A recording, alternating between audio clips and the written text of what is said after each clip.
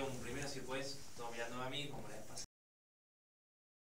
Bueno, soy Segundo Grondona, junto con Fermín Lafuente e Ignacio de Toledo, creamos Consultap. El equipo hoy somos los tres fundadores, que estamos full time con esto. Eh, así que nada, en breve estamos queriendo empezar a emplear, pero hoy por hoy somos los tres a full. Consultap es un servicio de telemedicina que surge a través de la pandemia que ya todos conocemos, con la necesidad de optimizar el tiempo y también la cantidad de, de personas a las cuales se les puede ofrecer un servicio de telemedicina de calidad. Entonces nosotros a través de una plataforma web hoy en día, vos puedes ingresar, tenemos varias especialidades, una cartilla de médicos muy amplia y te ofrecemos eh, una consulta digital a un precio muy muy competitivo.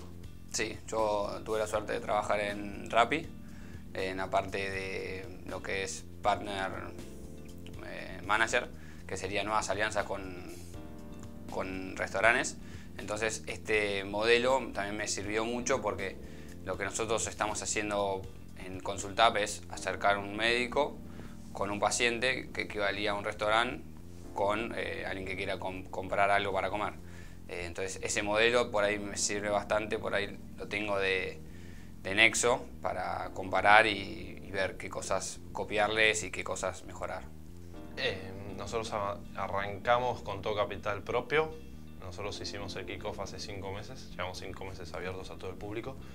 Y ahora estamos en una etapa en la cual queremos, eh, salimos a buscar inversores estamos ya en charlas con, con dos tipos de inversores, pues queremos pegar como un salto en todas las áreas, entonces estamos ahí en tratativas, no hay nada confirmado, pero sí, estamos en la búsqueda de inyección de capital. La verdad que sí.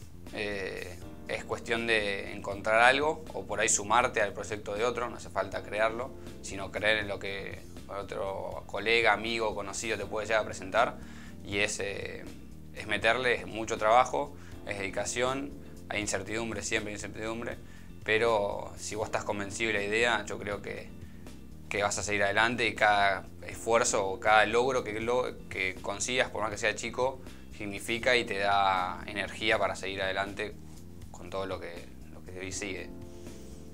La experiencia de usuario, vos podés pedir la consulta a través de WhatsApp también, mediante el síntoma que tenés o mediante la especialidad que necesitas. Por ejemplo, me duele la cabeza, necesito un médico o necesito un médico clínico y vas puntualmente a eso.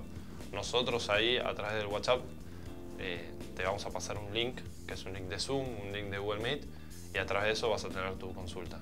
Si la sacás por la página, vos ahí lo que tiene la página, la plataforma, de ventaja con respecto al WhatsApp, que entras a la especialidad y ahí tenés la cartilla de médicos de esa especialidad. Entonces vos a lo mejor puedes optar por cuál es el médico que para vos te atrae más confianza. En Consultab estamos, bueno, como dijiste, bastante metidos entre todos, pero yo más, estoy más ocupado en la parte médica, de reclutar nuevos médicos, de estar eh, atrás de, de la consulta que se realice, que no haya un problema con la conexión del Zoom o del Google Meet.